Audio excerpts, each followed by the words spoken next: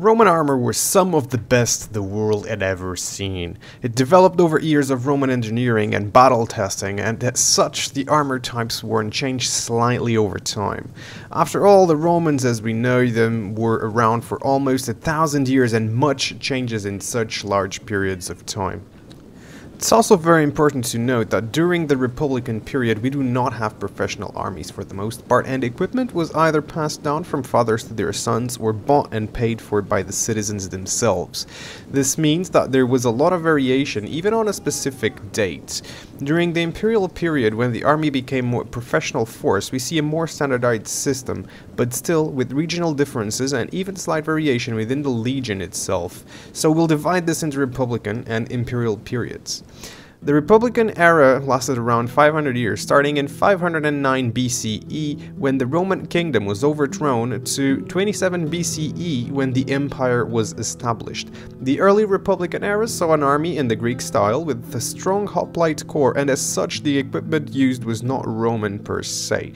It's Greek in its origin with heavy Etruscan influence. We're talking about linothorax type armors and bronze cuirasses. The helmet was often Etruscan in style and the shields very Hoplon-like, likely painted colorfully with the Roman and Etruscan symbols, art, and imagery.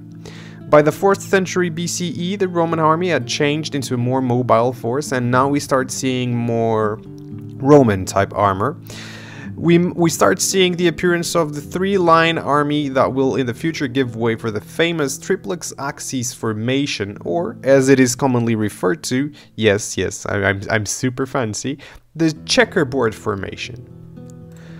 These three lines were made up of Hastati in the front. These were the youngest and most inexperienced soldiers. They had little gear and were often very lightly armored, some not even holding shields. Here we might see the pectoral armors, a bronze square or circle around the chest since they were relatively cheap, maybe chain armor if the soldier was either well off or if it was passed down from his father.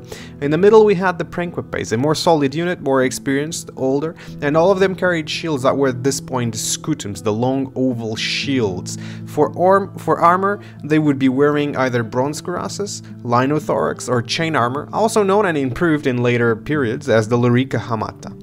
The helmets were still very much in the Etruscan style. The Triarii were the third line, and these men fought in the Greek style still. They were they were the most experienced and most elite troops in the army, so the last line of defense.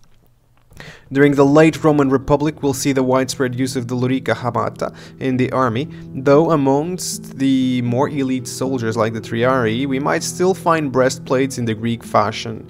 In the late Republican period, we see the introduction of the Marian reforms that made the army a more standardized force and semi-professional at that, which helped spread the use of a certain set of gear across the whole army. During the imperial period, we see the appearance of the famous Lorica Segmentata, the one everybody knows, and shortly after the Lorica Squamata and Lorica Plumata, the later two very similar, though one used mostly by horsemen and the other mostly by the generals. During the early imperial period, 1st and 2nd centuries AD, we'll see that the Lorica segmentata is quite common, but after the Lorica Hamata comes back into prominence again. Let's then have a more detailed look at these uh, Loricas, the truly Roman armor types. The Lorica Hamata, the most common piece of gear, was essentially a chainmail made out of about 35 to 40,000 bronze and iron rings, or iron rings.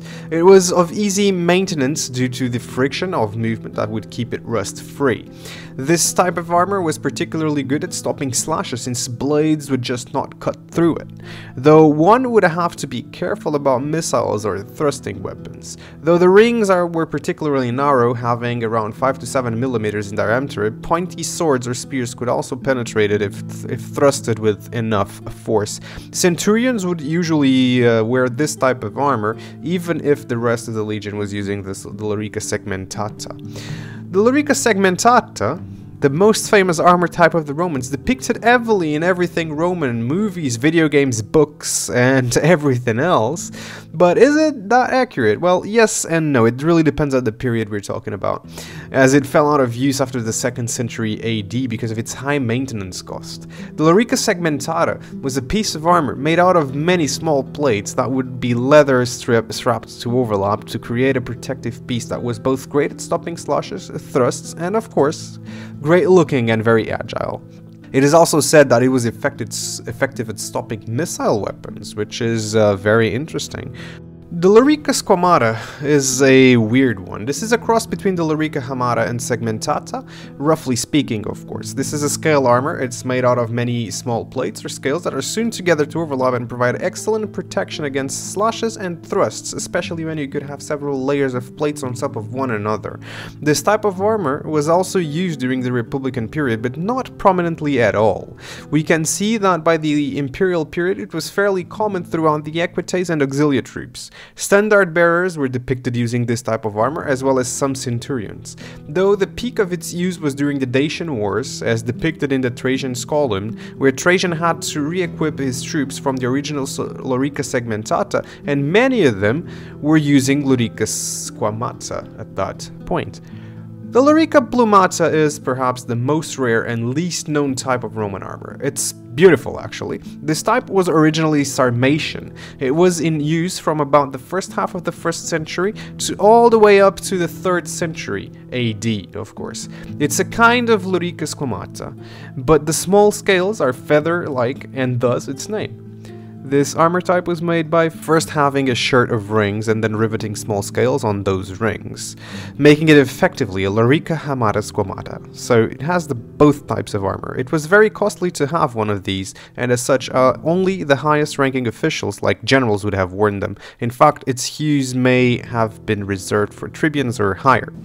I hope you guys have enjoyed this short and not too detailed breakdown of Roman armor. If you did, do leave a like, subscribe for more, and I'll see you guys on the next video. By the way, don't forget, if I have made any mistakes, please do correct me, because, you know, I need, I need to have all the true information out here. So, see you guys on the next one. Hope you enjoyed this video. Please leave a like, subscribe to the channel, follow me on Twitch, and I'll see you guys on the next one. Thank you so much.